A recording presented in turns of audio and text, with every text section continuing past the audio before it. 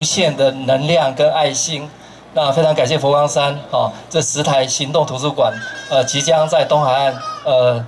偏乡来服务哈。那我想，呃，阅读是很重要的哈，阅读可以增加我们未来年轻的知识哦。那有了知识，呃，未来有更美好的前途哦。那台东县政府文化处我们也很努力哈，在明年哈图书的经费从一百万增加到两百万，好，要请议会支持啊。那也有很积极的案子，我们即将在游泳池跟图书馆要共构，我们要建立一个台东的新地标，哦，就是有一个两亿的呃旗舰案的图书馆，呃，即将在明年要开始来规划设计，哦，那。结合的佛光山的这样的一个爱心，哈，台东县政府一定会全力配合跟我们的教育单位来合作。那感谢佛光山，哈，感谢各位的支持，呃，跟付出，谢谢各位。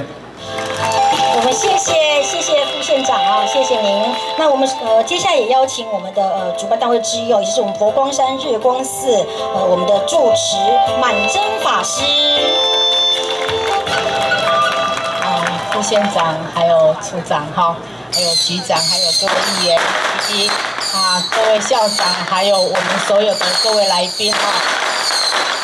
很感谢啊我们台东地区的所有护法信徒，以及啊我们县政府团队，还有我们哎各界呢对我们书车的一个支持跟资源的啊赞助，那。刚刚啊，有跟副县长有讲到这个有关书车的部分呢，是因为前天九号的时候呢，在台北举行啊四十八部啊云水书车的这种启程典礼的时候呢，我们教育部部长在现场呢，他是提供说希望呢，因为我们云云水图书馆呢是在民国九十六年的时候开始，那时候有六部。到现在呢，大概五年的时间，现在有五十部。那部长呢，就希望说啊，五年哎，两年半了哈，五年减对半的时候，他希望我们能够增加到一百部。那在台北的时候，那个典礼当中呢，大师就有说，希望。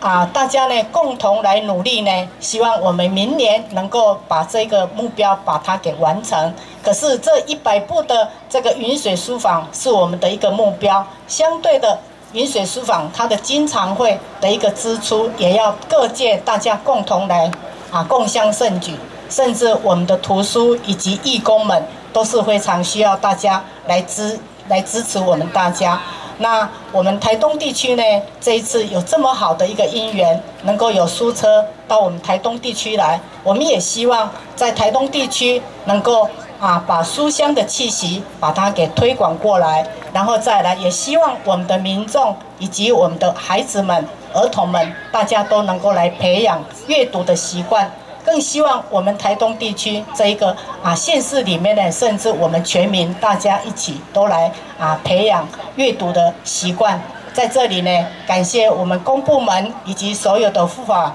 啊信徒们，大家共同的成就，才能够有今天这么好的姻缘。谢谢大家，阿弥陀佛。谢谢我们，谢谢我们的主持满真法师，谢谢您。